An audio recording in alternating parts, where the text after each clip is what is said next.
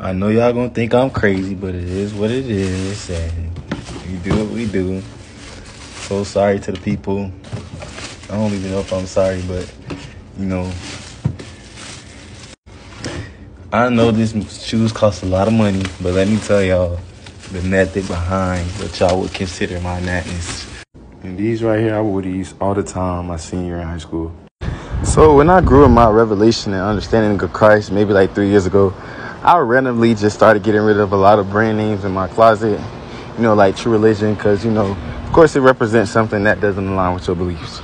And y'all know we live in this fallen world where literally everything can be evil real quick.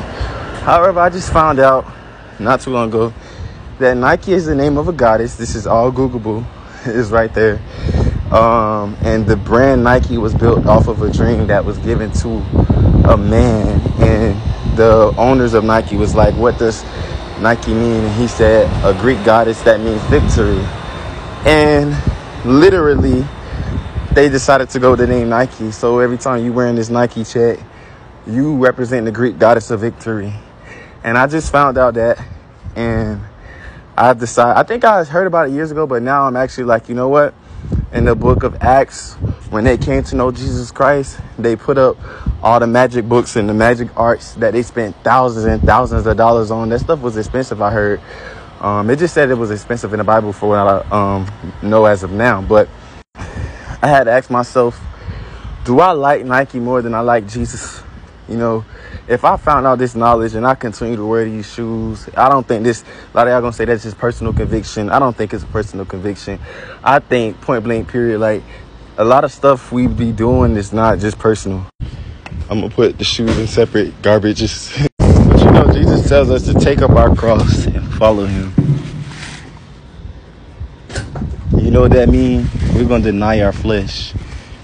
The flesh gonna want you with these nice shoes, like these nice green and orange shoes that my mama bought me that I really like a lot. But he even told the rich man, he say, pick up, um, sell all your things and give it to the poor and follow me. He didn't want to do it. And he said it's easier for a rich man to enter, it's easier for a camel to enter through a needle than a rich man to get into heaven. I personally don't think it was because the man was rich, but because he wasn't willing to give up what he had to follow Jesus. Sometimes we love the things of this world more than we love Christ. So I'm just putting this out there. I mean, the world's so wicked. It's like, what, what, you, what you gonna wear? Because everything got something demonic, you know.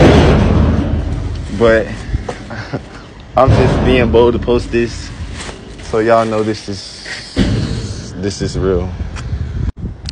That's how we ended the night. I like Puma anyway. but I'm a um I gotta look into them too because I really like Puma. But you know, it is what it is.